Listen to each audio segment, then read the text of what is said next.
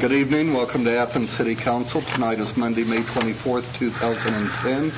This evening, City Council will be meeting in special session and then a series of um, committee meetings thereafter. Special sessions, there's always a limited agenda, only those ordinances that are up for reading. Uh, We do have a quorum with six of seven members present. Ordinance 5210 is an ordinance amending Athens City Code Title 41, Site Plan Review. Member Fall. Uh, Thank you, Mr. President. I move that we uh, accept 5210. Second. Um, We discussed this numerous times, um, including last week.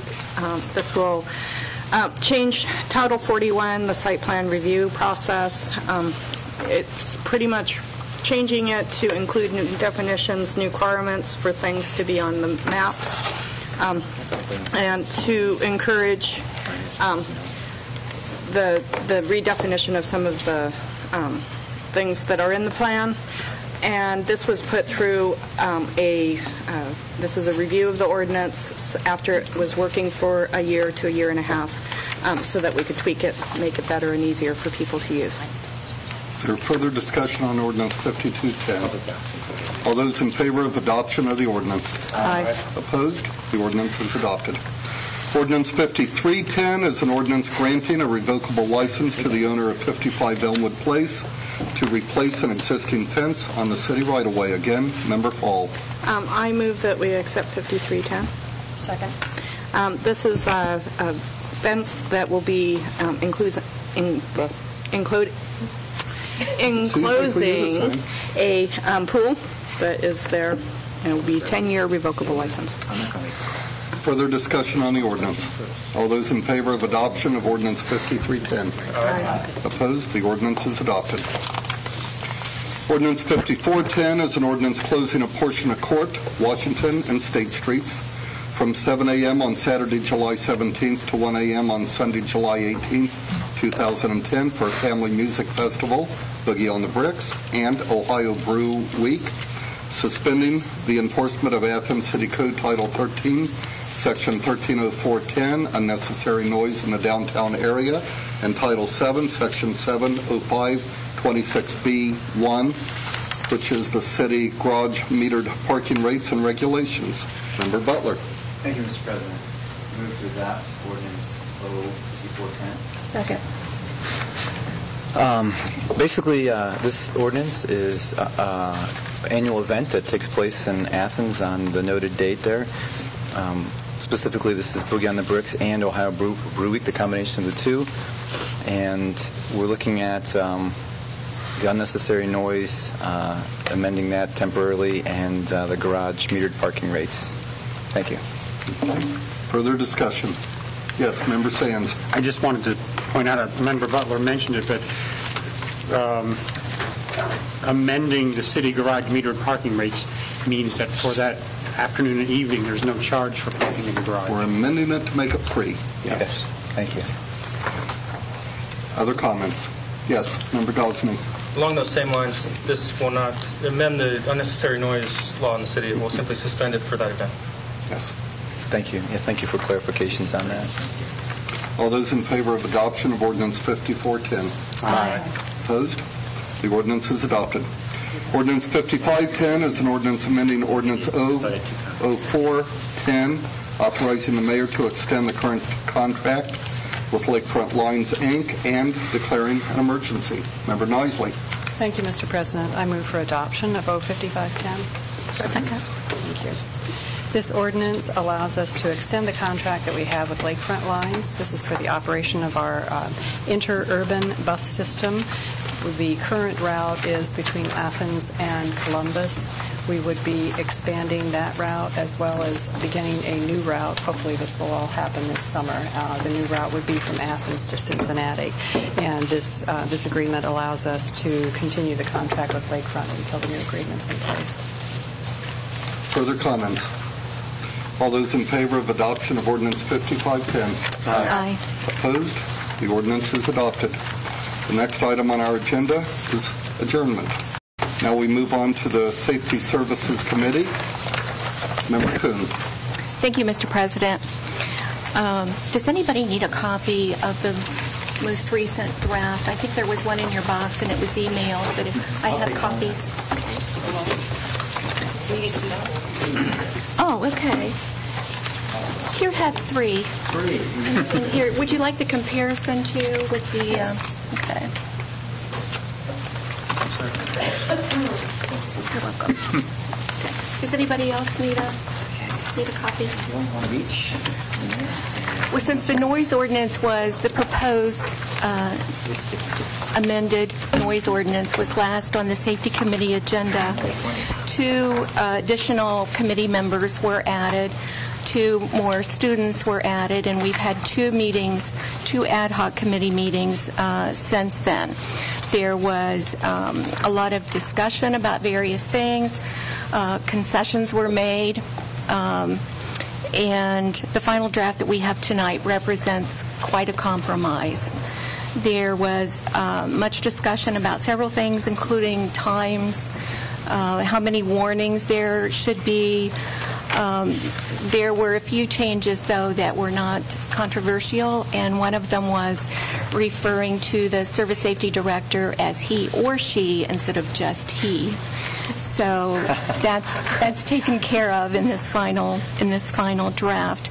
Um, The penalty section of the new proposed ordinance has been toned down quite a bit since, from the previous drafts that we looked at.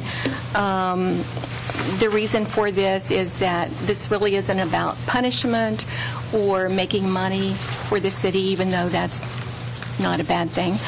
Um, but it's just about having respect for each other and um, living together in um, in neighborhoods and everybody showing respect for each other.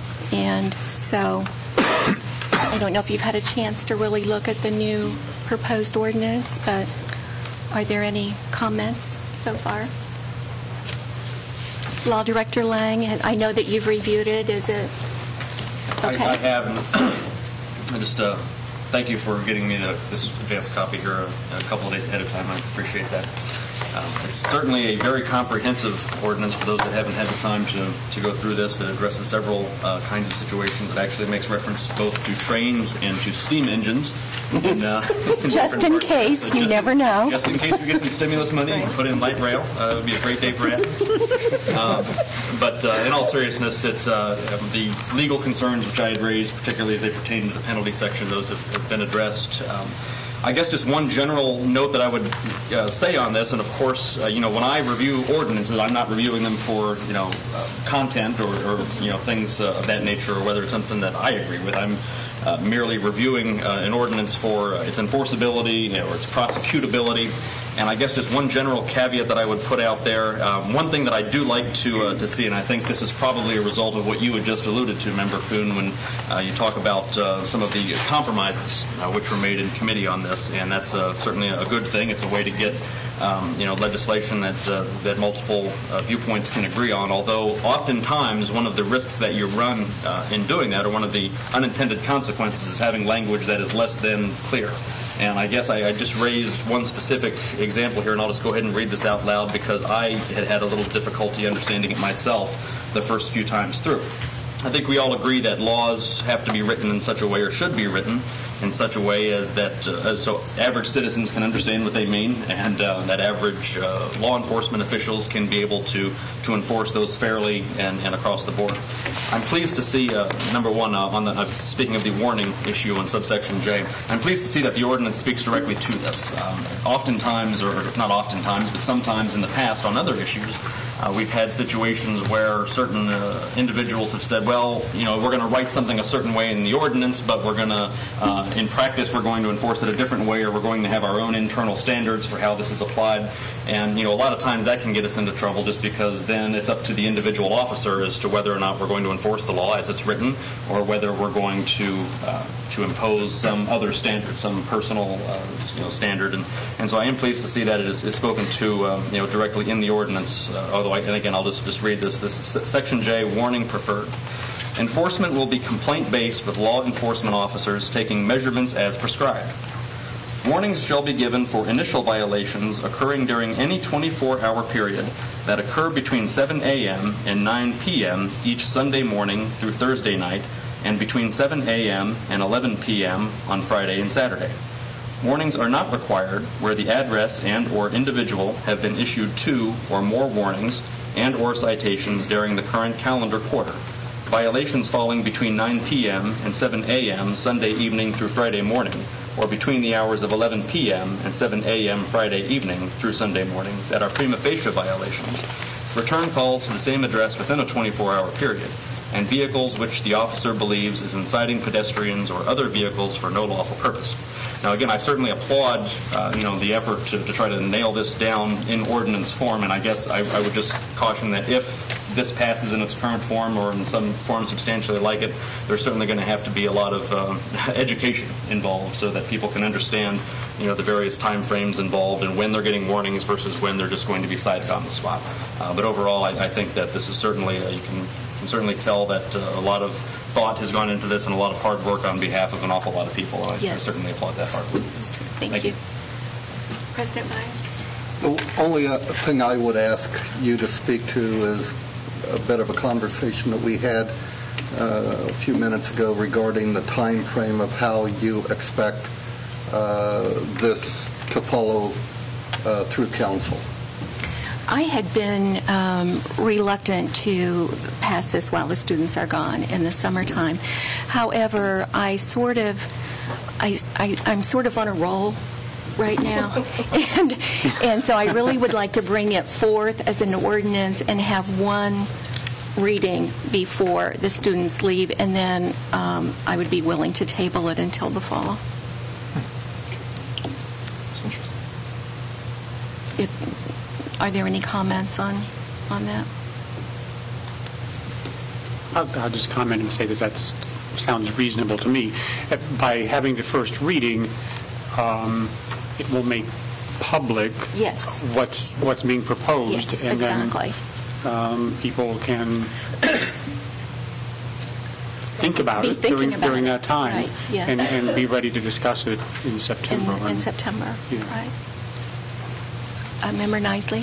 Yes, thank you. I think that seems like a reasonable time frame to have a first reading now to alert people, bring up further concerns.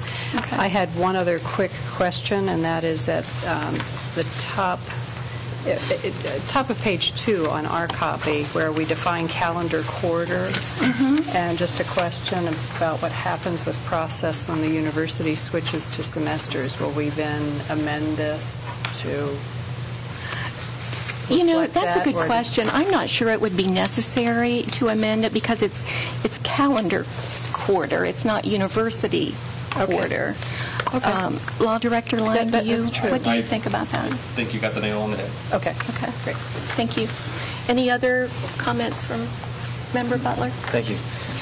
Um, I appreciate, um, Member Kuhn, I appreciate your um, tweaking and working with more students and getting two more students on, on the, uh, the ad hoc committee and having some more meetings and working towards compromise. I really appreciate that. Um, I was curious about the, uh, and I was wondering if there's clarification or maybe discussion about outdoor performances. So under B, section B, 12, Okay, you're looking at the comparison. I'm looking at the comparison chart. What It's, and I think it's the third page at the very bottom. It acknowledges that the production or presentation uh, outdoors in a residential zone by an amplified live band or any makeup or indoors when plainly audible. So I guess I was just curious about that and maybe um, was- was hoping to hear a little more discussion on, on that end of it. I know there's been concern expressed in, by various neighborhood associations and, and people with families uh, and non-fam, you know, people without families as well, too, that have expressed concern about bans. Um, But is this also falling under the need, it would, it would have to be uh, complaint-based, is that correct? then? Right, it's complaint-based. Okay. But they, but they are prohibited. Outdoor and residential zones, um, live bands are prohibited. Okay. But you're right, com- it is still, com- the ordinance is still complaint-based. So Um, So does that, and I'm looking for clarification here, does that mean that if anyone has amplified music, um, they're, they're potentially dancing on uh, some, If if someone complains and the officer responds, and um, I think it's, I think it states that it has to be clearly audible, or plainly audible, maybe it is, plainly audible. I think it's 50 feet from the source or the property line, whichever is farther away. okay. Um, And the officer cannot, it has to be just his ordinary hearing. It can't be, he can't have a hearing aid or, you know, Sure. something. I- So, so correct me if I'm wrong as well, too, then, that um, this could be during any hours. So it, so it could be, um, if there's a concern about ampli- amplified music, and it's um, even before 11 p.m. um, on a, on a Friday or Saturday, or, I'm sorry, on a, was it, the hours were, was it, say, 7, 11 to 7? On Uh, Right, 11 to, se- it's Friday? 11 to 7, it's 11 to 7 on 7 um, um, uh, Friday and Saturday nights. And then the other nights are, it's um, 9 Okay. to 7. And, and, and this is tricky, I have to admit. I mean, there's there's probably people wrestling uh, uh, or shaking their fist at me uh, out there in TV land because, um, on, on one level, this sounds, in my in my opinion, it sounds somewhat cantankerous and uh, and anti-creative. But on another level, there have been a lot of complaints about noise related to music and amplified music. It's it's different to uh, be playing uh, guitar on the front porch um, compared to plugging in with huge amps that are heard from miles away. And we've heard a lot of people speak to us about tolerance, and also um, some people have shared their horror stories Right. about um, not being able to put their babies to bed and- Exactly, and, not exactly. being able to sleep when they have to get up in the morning and go to work, and they have to go out in their pajamas and track down the source of the noise and so forth. So hence the reason for the compromise. So the compromise was, um, Well, we talked a lot about times. Okay. You know, what time. Um, a lot of people thought 9 o'clock was too early. Um, some, you know, there were just a lot of different opinions, and so um, there was a, a lot of discussion about times and warnings and, Yeah. and that sort of thing. thank you for Sure. your, your input. Anybody else? Anybody from the uh, safety director, safety service director? stepping right into it. It's my understanding that this, um, right now, police officers don't require a complaint and can shut down loud, you know, music that they encounter. And this will tie it to a complaint, so I just wanted to point that out to you. There's some, some changes here. The other thing was, and I, I haven't got delved to that level, is that uh, Right now, the noise ordinance is in effect 24/7. Does this not tie it to times? I I thought that um, it was kind of a dual, betw- um, right now, the noise ordinance is in- is um, enforced 24 hours a day, but um, there are times between midnight and 7 a.m. on the weekend where if an officer hears things, then they can go and give a, a ticket. But before that time, like during the daytime, that was the complaint. So it's kind of a dual, um, a, a dual, and the complaint wasn't just calling up anonymously and saying, I have noise, it was making an actual police complaint. And I, I guess maybe that's the question is, is this making it more of, like now at you know, 11:54, you can call up the police and say, you know, the neighbors are being really noisy, could you do something about it? And that can be anonymous. But if it was at 7 o'clock in the, in the evening, you would have to leave your name and number and potentially have it go on public record.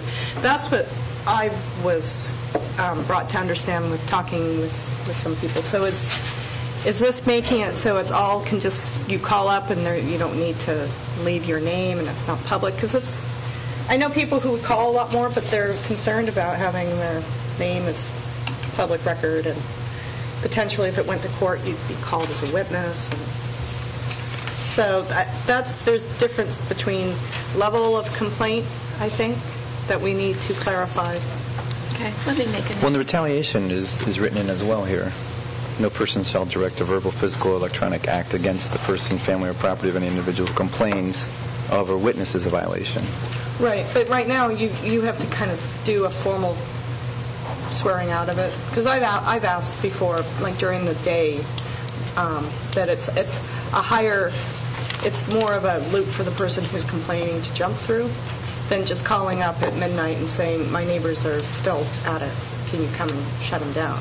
There's, do you see what I mean? There's different levels, and if you have to swear out a complaint, that's potentially putting you, have to go to court. They decided to take it to court and swear out and be a witness and such. It was So- my understanding, and I'll, and I'll clarify this before we bring it forward, was my understanding that you could just call in, complain, without having to be specific even. Right. And if the officer goes to that area and finds um, a source of noise, then they can handle it from then on, that you don't have to be, that you don't have to be involved in it. So, But I think that needs just to be, because there's different Okay. levels of complaints.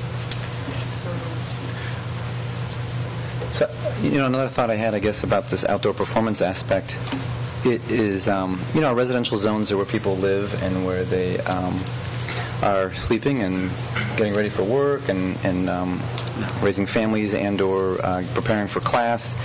And I, I, guess what I'm, if I read between the lines, this is encouraging musicians that want to plug in to seek other venues or outlets, um, whether that's uh, an indoor facility or non-residential zones, or perhaps to work with the university to begin uh, events that may not currently exist, to pursue perhaps uh, musical performances on campus, um, if the university wants to support that. So I I guess as I read or look into this, it's acknowledging that our residential zones are... Residential. Exactly. Right. Mayor? So, um, a couple things. This section J you're talking about, warning for preferred. So this is for all the noise um, events? I mean, any noise violation, you you give a warning preferred between the hours if you're, it's, you know, 12 noon, warning for everything? Is that what I'm hearing? A warning, a warning would be required at 12 noon. For somebody, let's say Jake braking or loud cars? Right, a warning would be required. So they Right. come through once a quarter, they just get a warning? Right, exactly. Well, there, you can have two warnings a quarter, Two warnings a quarter? per address or person. How, okay, so what about uh, cars and yelling and things like that? I mean, if the address is not the same, horns and signaling devices, automobiles, bus, trains, uh, if I start making noise on my car, Two warnings, noon, if I two lean warnings. on my horn on Court Street, I get a warning. For, right, you get a warning, that's right. You get two warnings per quarter, no matter, quarter. per person or address. Two warnings per quarter. Per car. If Well, I don't think we can cite the car. Well, I- I'm, I'm just Mayor, wondering. have we had a warning for a vehicle in the past 10, 20 years? I don't I think guess that's a question for the police I really don't but I think so. doubt it. Actually, they have stopped cars that are, you know, the revving and the, For- yeah, and the big booming speakers, so they do do that. I do do. want to share with you, uh, you know, that at least for two weeks in a row, noise complaints were the highest call for service, you know, exceeding 30. So you've got your patrol officers expending, you know, that and going out and- and shutting, you know, find, locating these areas and what have you. I'm not sure about the anonymous um, records either, Sherry, so I think we need to get To that. check on that. Yeah, Okay. 'cause, um, you should know when you call the police department, you know. they're You're listening. being recorded. Yeah, right. Right, but it doesn't go into a, Pat's going to kill me for that one, but oh, that's what I was told by the police officer. Okay. I think it needs to be looked at. Yeah, We'll, we'll have to check on that. The definitions. Yeah. Right. So if I, if somebody complains about my lawnmower, I can only, I get two warnings, and then after that, I get a ticket for driving my Right. lawnmower? That, that's one of my personal pet peeves, right? Okay, And so- they- And they, and they have to have a muffler on them. They can't ju, you can't just be mowing your yard without a muffler on your lawnmower. Okay, but if it's too loud, somebody complains, I get a warning. You get a I do warning. it the next week, I get a warning. I Right. can't cut my lawn anymore. and Now you're going to get a Then you grass. Now you're gonna get- I'm sorry. But then I get a goat, and I can't get a goat. Right. Yeah. I'm just trying to picture how this works with the warning situation. I'm trying to figure out how a transient noise violation actually can be tracked and cited. Goats and chickens, we know- can work that in. That was, one of the concerns of the ad hoc committee was how did the police department have the ability to keep track of who gets the warnings? Oh, when it's, when you've exceeded your warning limit. Mm-hmm. And they say they can, that they're not doing it right now, but that they will have the ability, once this is passed, to do that. So, I'm do you, trying to visualize this. so, are there any, does anybody in the audience wish to say anything?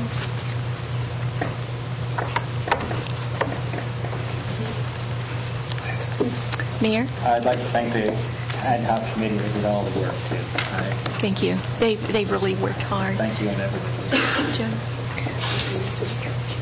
If you'd come and state your name and address. Uh, Joe Fernandez, 56 Mount Street, and I was a member of the ad hoc committee. I was hoping I wouldn't have to say anything. I was hoping Chief Mayer would be here and he could just fill you in on everything. But um, um, I would like to, well, I would like to say this first, that um, um, all, many of the difficulties were resolved in the process. I think we had three or four, we were just talking about it, we think we had three or four meetings on the second go. Um, At least three, maybe four, we're not even sure ourselves, right? We've had a lot. We have, we've had a lot of meetings, and um, the group was mixed, for residents, for students. One of those students, who was a student and representing students, was also representing the local band scene, because the person from the local band that was asked from council to be on the committee uh, couldn't make it, and he suggested this person represent local bands, but she was also a student. Um, So there was a lot of representation on the committee. Cool. I think that uh, there were, um, and we pushed each other a lot. And I think that um, Chief Mayer was a great listener and clarified things constantly for us because you would be reading things and you would see it from your perspective and he would have to stop us and say, no, this is what it says. So I think he knows this thing inside out. Um, and uh, we actually initially met um, um, when we did the first ad hoc, and it we determined everything by consensus. Oh, there were other members on the committee. University uh, Student Services, a rep was there, and Sherry was always there with comments, and um, And the code director. and the attended. code director was there. So we had a pretty full table. Um, And then there came a point, just so you can understand that we really worked a lot of these issues out. And um, when we met for the second time, and it was four students and four neighborhood representatives, we went to this vote thing for two meetings. And um, I w- I was very uncomfortable with that because it was a four and a four vote. And it was like, well, this is not making any sense. And I said, you know, this really is not working. Prior, we did this consensus thing, and we- and we would work everything out. So at the very last meeting, we switched to consensus, and we were able to come to terms with all of our issues. And I don't think everybody was totally satisfied, but I think that we found that in representing um, those members of the community that have difficulty with the noise, some members of the community have very little difficulty with the noise. Uh, Some students have absolutely no difficulty with the noise, but some students do have a lot of difficulty with the noise. Um, And um, there was a student at the um, uh, last community center meeting who sat next to me on the very committee that talked about the noise ordinance, and and he was very concerned about it and had a lot of issues. And after the meeting, he we talked for a while, and very quietly and sheepishly, he said to me when I lived in North Lancaster, I had to call the police two times on the people that lived next door to me. I just couldn't stand it anymore. And yet he was there speaking against it, but he actually used it. And then he moved out of the neighborhood up to Courtyard, so he could move away. But as I said to him, you know, as residents, homeowners, we can't just pick up and let our car move away, right? And that was our concern. So, so it's kind of interesting what people come out, what come, comes out in all of this. Um, I would like to say something. So, anyways, I think that we did a, we did a, a, a really marvelous job considering all the obstacles that were placed in front of us, um, and um, it, it was good to do some bantering like that. Um, one of the things I'd like to say about uh, the complaint-based time, and the complaint-based time is in the new ordinance Sunday to Thursday before 9 p.m. And then on Friday and Saturday before 11 a.m. Uh, 11 p.m. PM, thank you. Where's Chief Mayer when I need him here? Um, You do have to give an address, and that was part of the problem, was you not only have to give an- a location of, of, of the complaint that you're complaining about, you would have to appear in court in order for the judge to take that forward. And so by lowering the times to 9 o'clock, and we assume that Mayor Wiehl will not be mowing his lawn after 9 o'clock, um, and if he does, then he should get a complaint. Um,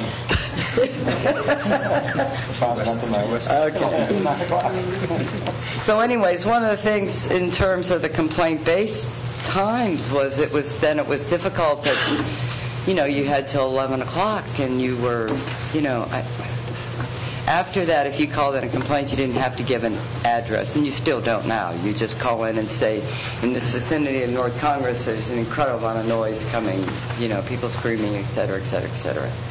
Um, so we lightened that load on people that want to make a complaint. And uh, when it when it came to the warnings and tracking, I was particularly concerned about being able to track that. So it's like every quarter, January, February, March, then then your record's clean, and you go again, um, April, May, and June. And how how were they ever going to track that? But uh, Chief Mayer assured us that they would be able to track that. One of the students' concerns in terms of um, um, audible noise and the way we did it in terms of um, uh, property line was because some students complain in an apartment complex. And so where is the property line? And so the property line is your wall, and so we put the property line back in there. I think, correct me if I'm wrong, Sherry, so that students living in apartment buildings, when they want to complain about the neighbors next door, they can do that. Um, I think um,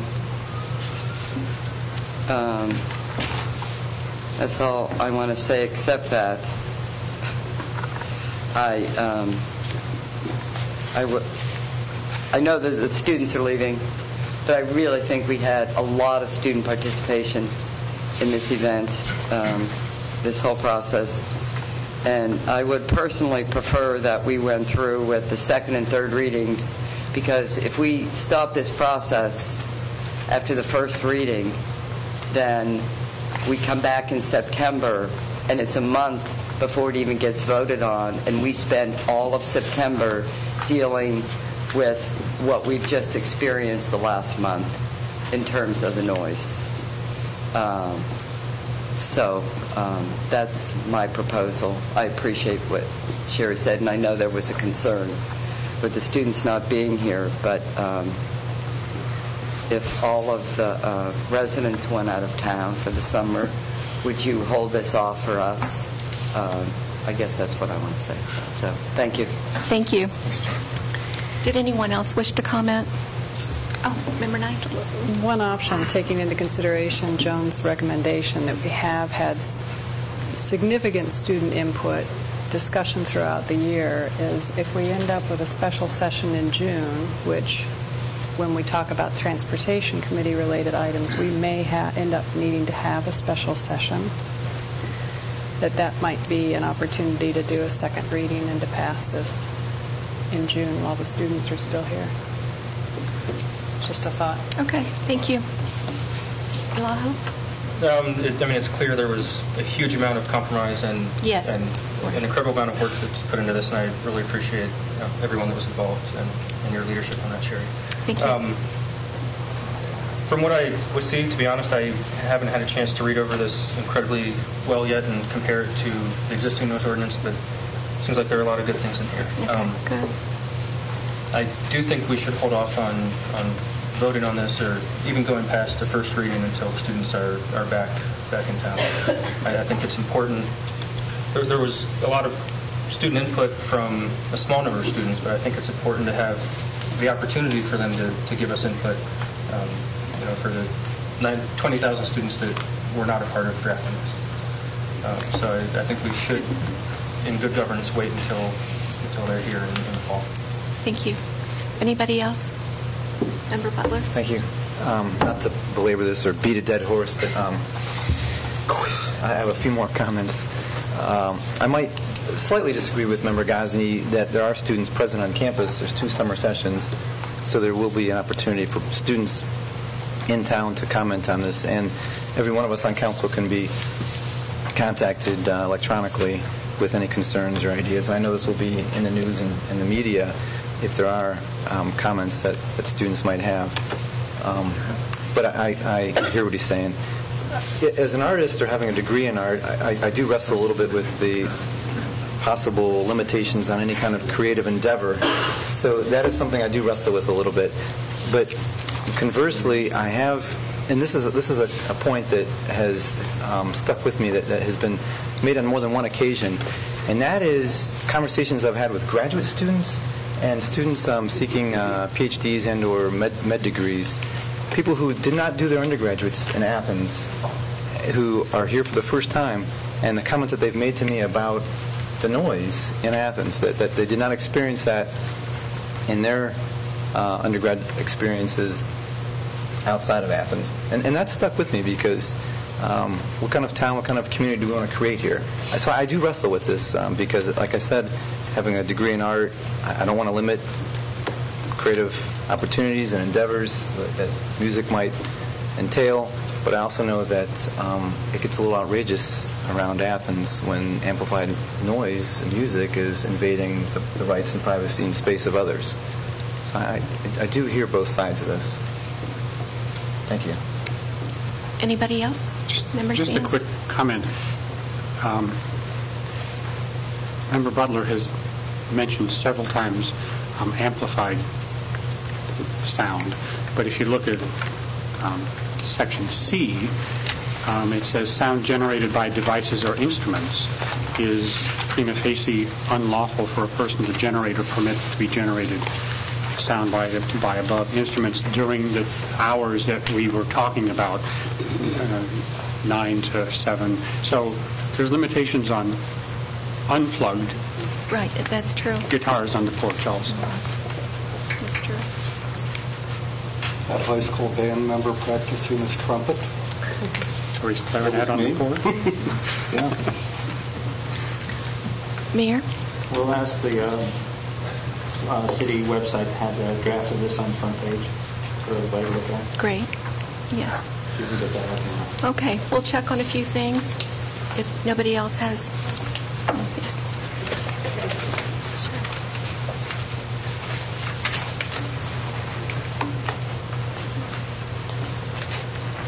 State your name and address, please? My name is Robin Jones, and I live at 197 West State Street.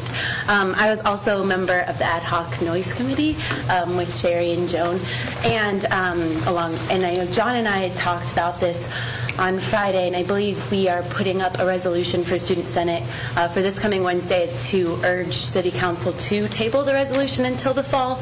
Um, primarily because obviously we know noise is a problem here, um, and we know that this noise or noise ordinance needs to happen, and it's not just a reaction to the fests, but we feel like right now, because of all the fests going on, that a lot of people are in that fest mindset.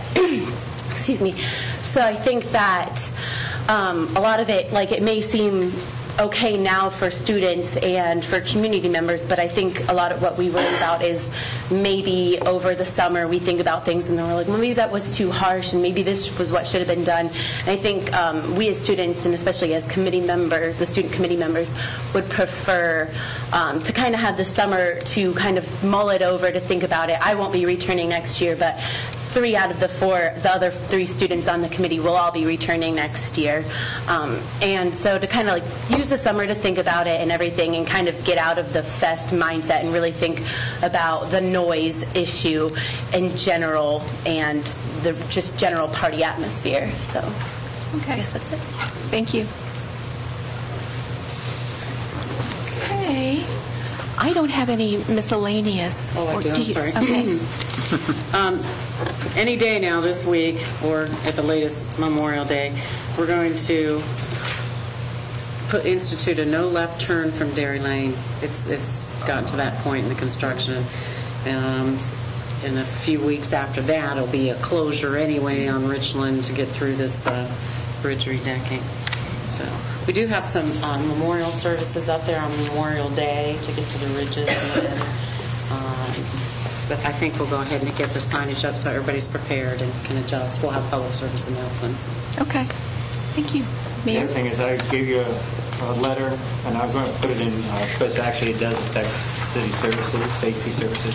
It's actually addressed to myself, uh, Pat Kelly, the Board of Commissions of Athens County, and uh, and Chief Troxel.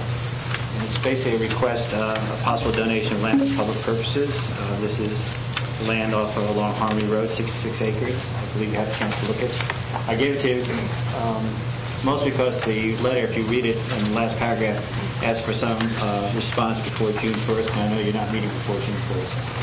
Um, The, um, essentially, the land is the, interested in donating land for us for both the Sheriff's Department and all the fire departments, uh, with the idea of actually developing that on Harmony Road. This is, uh, I suspect, if I look at the plat correctly, somewhere on Harmony, close to, or part of Brent Hayes' property. We have no utilities out there. Um, I know addressing the fire, I'm asking because I want input from you guys, uh, one side of it. Um, But before I ask for that, I would point out that uh, in the conversations we've had about fire stations, it's felt that this would be too far east in general for a fire station. Uh, We, the Kramer report of 1999 talked about the far east side not being serviced well and suggests, of course, at one point a third fire station. But to eliminate one of our fire stations, like the one on Columbus Road or Richland, would not service the south end properly. So I point this out as even though it'd be connected to a highway, not directly connected since Harmony Road is off uh, Route 1532. But uh, I was asking, I'd I'd like to get your input along the way. I don't know if you had a chance to look this, I sprung it on you as it was sprung on me from uh, last week. Thank you. Well, wasn't Paul Logue um, getting together some figures for us regarding response times and where would be the best place to have a fire department? Yes, we have So- uh, the GIS, uh, ILGARD GIS, looking at that, trying to put that together. Right. Um, Again, the 1999 one, uh, question how accurate it was is another, you know, matter, but um, what you're seeing in that time, Far East Side and the uh, area to the south of uh, 56 and 682 is well ill-served. Uh, Not so much the Richland area, but towards the University Estates area. And I think that was a four-minute response time that was questioned, whether we could get there within four minutes. He is working on that. I have not seen, I don't know where the progress is at at that point. I think that they're doing is compiling all the response times of all fire calls we've had in the past couple of years and seeing Mhm. how long it takes to get from point A to point B. Um, Again, I, I look at this as not suited for us, but again, uh, it- I'd be remiss if I did not bring it to your attention. Okay. Thank you. And just one other quick note is that um, the fire chief has submitted an application through stimulus funds for over $900,000 in funding for replacement of our aerial ladder truck with a very good letter of support from Ohio University. All So right. Well, that is good But news. We won't know till, be lucky if we know in November. Mhm. deadline for the application is 26, 27, 28th, 28th. We got it out today. We got it out today, so we're, we're good to go. We All just have to wait now and... See what happens. Terrific. Yeah, so maybe we'll pay fines. Yeah. Um, Presently, this has no, the piece of property has no access to services, right? Sewer, Um, water? Harmony Road is serviced by LEAX. Okay. That's actually their water district. Um, We are ba- pretty much bounded on that end by LEAX and Tupper's Plain. Mm-hmm. Tupper's to the east. I know Harmony Terrell Road is is LEAX. And sewer, it would, There is no sewer service. okay, To get uh, sewer, you because it's across the river, it would be very expensive to, Under the and- rivers, under the highway, through the woods, grandma's house, and um, I I have concerns of, um, you know, putting, there's presently, um, you know, not much over there, and it just seems to be very, very out of the the area of- that needs to be serviced by the fire department.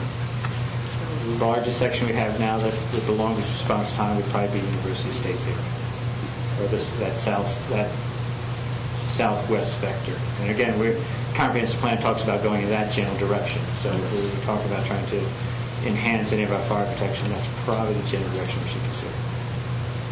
Not that we can expand our fire protection that much, considering.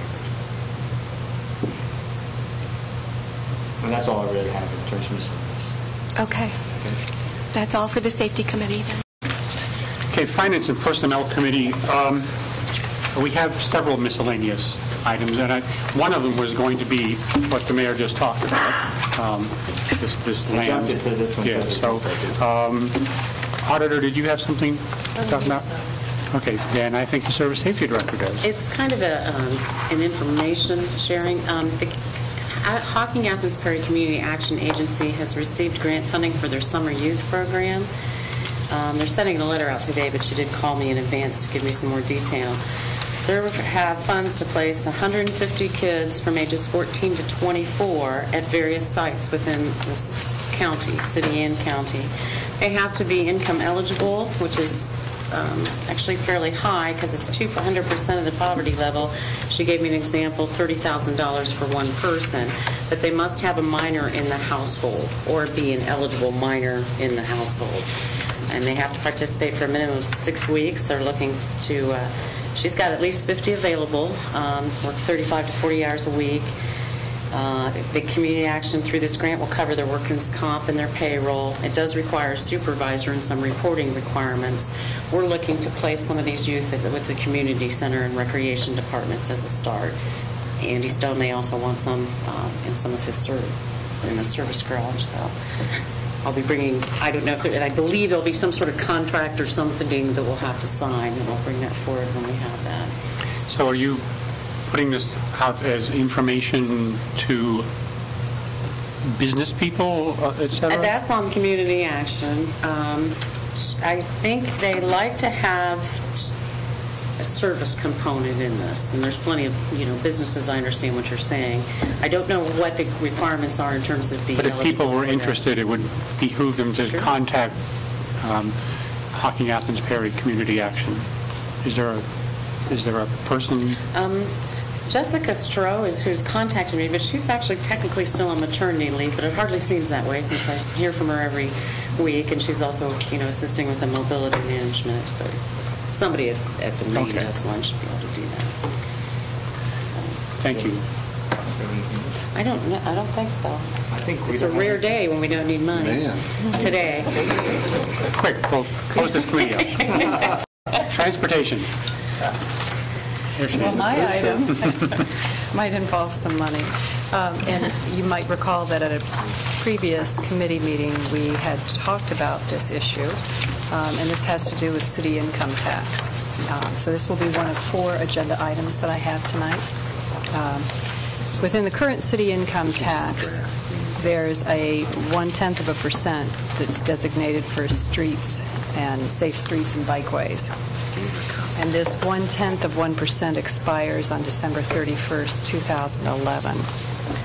Transportation Committee is proposing a ballot issue of an additional .12% for this November's ballot, and this would be to begin on January 1, 2011. for an additional, uh, for additional improvements to streets and bikeways and pedestrian paths.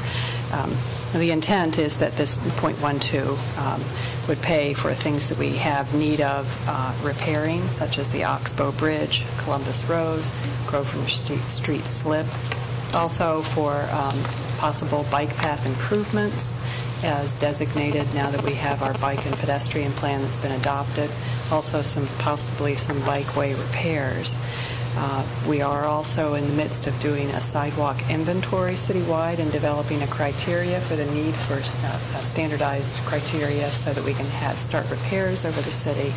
And so it would also be um, potentially for some of the sidewalk repairs. The anticipated revenue from this would be $720,000 a year. The current one-tenth of a percent generates approximately 600,000 per year at this point. Um, So this .12, um, as an example, um, would be, would mean for each $10,000 of income for a person, that would be an additional $12 tax per year.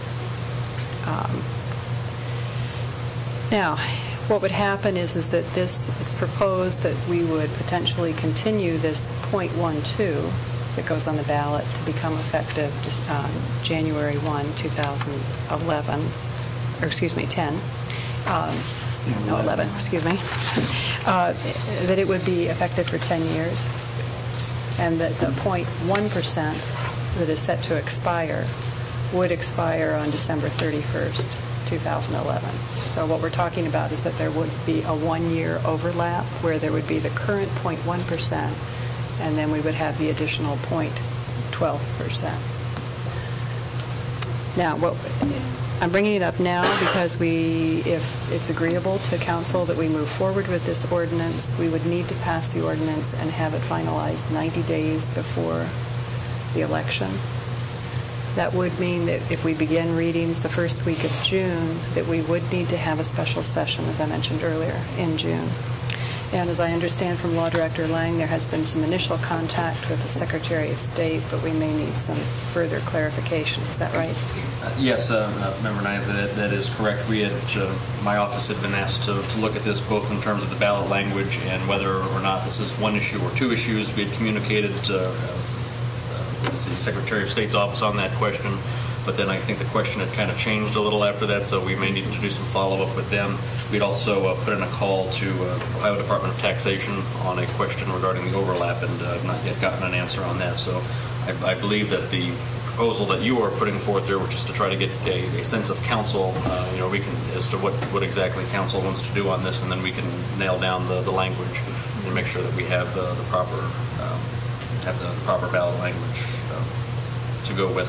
And as you noted, uh, there may, so in case there's any confusion out there, typically it's 75 days prior to an election when we would have to have this language uh, certified to the Board of Elections. Uh, There's actually a, and don't quote me on this, I believe it was House Bill 28, uh, Governor Strickland just recently signed into law, and one of the components of that bill was to, uh, for tax levies in particular, to accelerate uh, that from 75 days to 90 days. So if this were introduced for first reading, first meeting in June, we would need to have at least one special session in June order to have that passed with adequate time for the 30 days um, before the language would need to be certified. So with an emergency clause too? Any comments from council members? I know that there had been general support at our first discussion Uh, about this. Just expressing support for going ahead and getting information as it's available. Okay. Councilmember Bowser? No, I, we could certainly use, use some more funds, I think, to do work on our streets over the next couple of years, and I, I think we should move forward with this. Um, Last time you, you discussed 0.1% of that being for streets, but filling, filling that role, and then the 0.2, 0.02% um, being multi- dedicated for multimodal or non-motorized transportation. That's correct, and based on some of the information we have from the Secretary of State's office, if we designated it and and restricted it in those ways, the .1 for streets, the .2 for, .02 for multimodal, that would mean that we would need to have two ballot issues, and at this point, um, I I was just thinking common sense maybe, or, you know, general support. If I, if I as a voter saw two ballot issues on, I'd go immediately, well, what's, what's the second one for? Um, So there, it- this is all in general for streets. That's what uh, Law Director Lang will check for us. I think, I do believe that we currently, within our street budget, do have um, monies that are used for more of a transportation, but broader kind of transportation de- definition, um, and whether that's bike, pedestrian, or the, uh, or the streets, and, um, it's used in that way. It- It certainly could be more complicated to have two of them on there. I think. Um, I I think uh, with with Mr. Baum's um, comments last, last time we talked about this, though, uh, to ensure that those funds go where we tell the public that we want them to go, I actually personally would support two separate, um, two separate ballot initiatives. Okay, thank you for the comments. Other comments? Mayor Wiehl?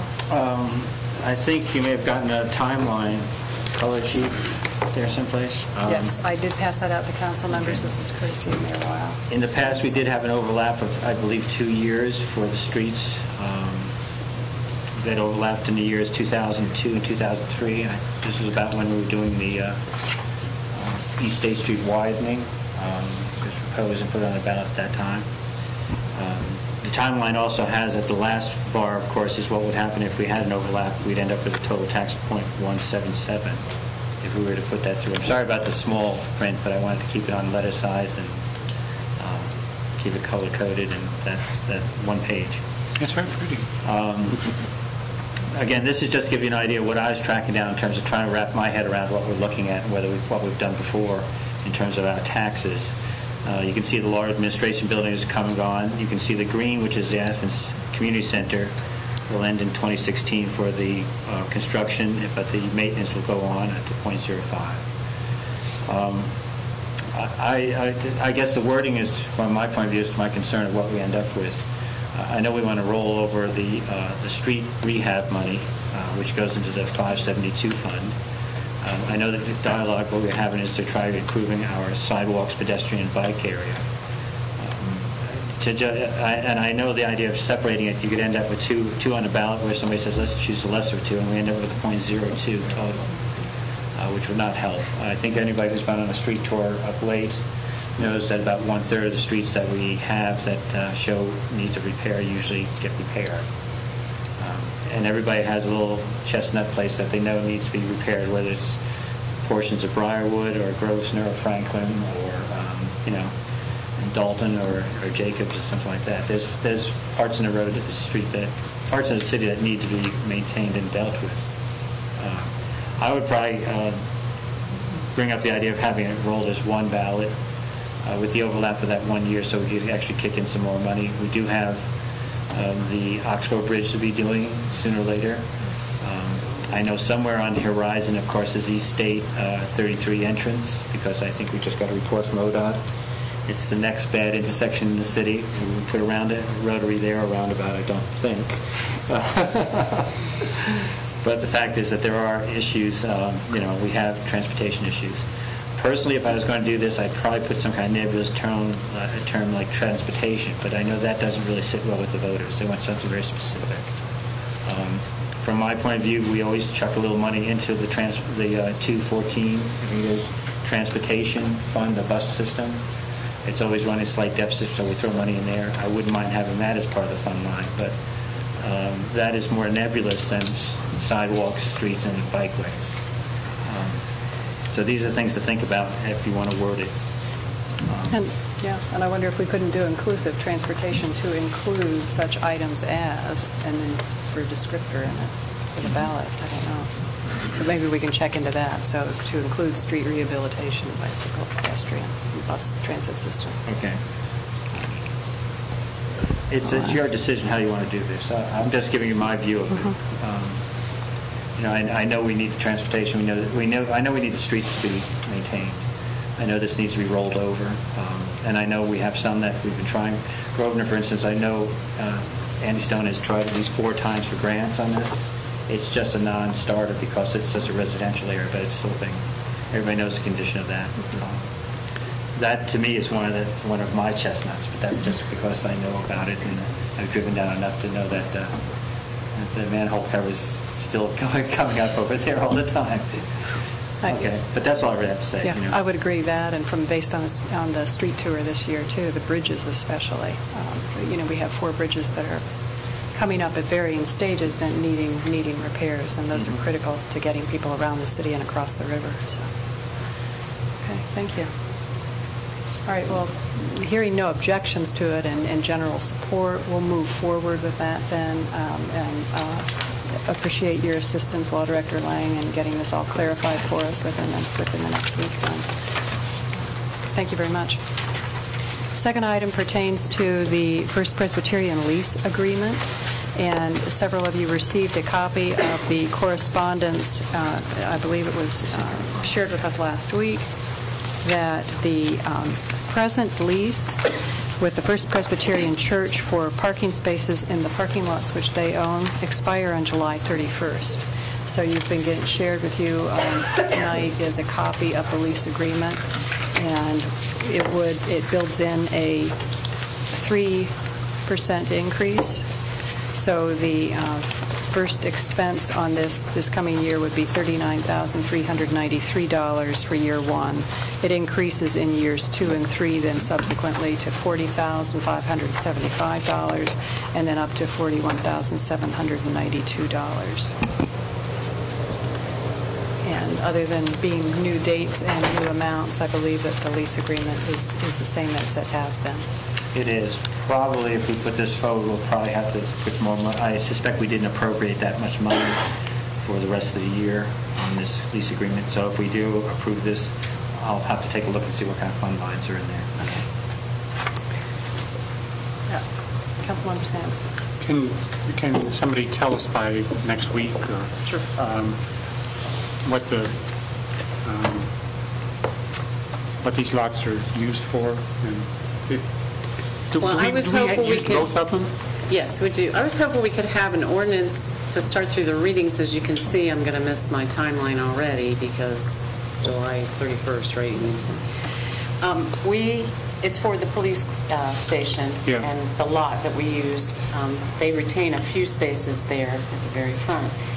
And then we also lease the other lot that we then resell, trying to offset our costs Exactly. leasing the That's- space. That's what I was asking. I don't know anywhere else to put the police officers, to tell you the truth, in their patrol cars that would be, you know, monitored and what have you, so.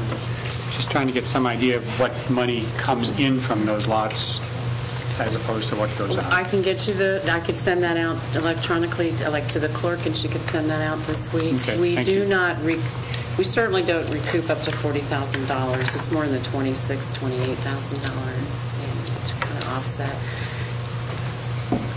No, the, the, the police officers, the vehicles need to be Right there. parked somewhere adjacent to the law. Does make sense. Councilmember Grassley. Just along the same lines, I guess, you know, the- the number of spaces, how much we pay for each space, and if it might be ben- more beneficial for the city to break that up and just rent the one that is actually contiguous with the police station itself. If- it- Depending on, on how the math works out. If we're leasing for 300 and and paying 500, we might want to look at trying to negotiate not needing as many spaces. Got it. And I I might add that this is, um, the clerk of council found out for me that this is an agreement that's been in existence since 70 1973, so. But it it's it's worth looking at some of the details of that. Okay, under the miscellaneous, we have two items, um, one of which uh, is brought to you by Mayor Wiehl tonight, and this has to do with capital expenditures. And this is the second handout behind the colored graph that was given to you. It's a chart for the 2010 capital project budget some details. This is our projected capital budget for the uh, Athens Transit System, our bus system inside the city. Uh, What we had scheduled, of course, is a replacement bus, uh, light transit bus, that's an LTV. Um, This was in our program. We we got ahead with the one bus with the um, stimulus package. The other two pieces of our shop equipment, it's an AC refrigerant handler. If you look at the uh, the um, dialogue on the back there, basically. Uh, The one we have is basically about 10 years old, in bad shape. Um, This what recaptures the Freon, I believe, when you, when you change the air conditioning uh, refrigerant. Um, And the other one, of course, is an automatic transmission fluid exchange system, and that needs to be renovated to or built up, put up. Um, Actually, I don't think we have one of these. I think this is new. This, these are what we programmed into our capital budget for this year. We get uh, 90% of the cost uh, covered. 10% of it would be ours we put in. If you look at the total amount, it's about 77,000 when all said and done. Uh, Of that, about 7,700 we have to put up for that. Um, Essentially, I'll I'll probably need authorization to go ahead and start this rolling if we choose to do that. And that's really why I just wanted to bring it up to your attention. I can talk about it more at a later date. Um, I know some discussion as to whether we should try for an alternative fuel bus. Uh, We're trying to find out a little bit more about that, because I don't think there's any, I think Paul Logue, who having gone to the uh, Hocking College's uh, Energy uh, Center, Research Center, was impressed by the compressed natural gas, but I don't think there's a real outlet here. On the other hand, there's always propane as well, so there's different aspects to look at. But I just mentioned just so you know that this is what we look in our capital budget for this year. Um, I did not put these in just because I was trying to keep the budget low, but we'll look at it when time comes. But I- I- essentially, I'd like authorization down the road. Any questions? Thank you. Last item is brought to us by um, our mobility manager person, staff person, Lance Rep, and he wanted to remind everyone, and we'll make a series of announcements and hopefully work with the mayor about a press release for Dump the Pump Day. It's the fifth annual event. It's sponsored by the American Public Transportation Association. And so that'll be happening June 17th this year. Save money, ride the transit is the uh, public work. And so we'll be trying to get some more publicity out about that. Okay. Any other miscellaneous transportation items? No transportation, but council overall, I want to make sure everybody realizes next week, we will not be meeting due to the Memorial Day holiday. We have none scheduled on Tuesday at this point. The fifth Monday? And to- Yeah, go ahead, it would be fifth Monday. So, we are meeting or not meeting? We are not meeting. Not, okay, because it's the fifth Monday. Shucks. You can come, you can You have no other place to go, do you? Is that uh, everything? We stand adjourned.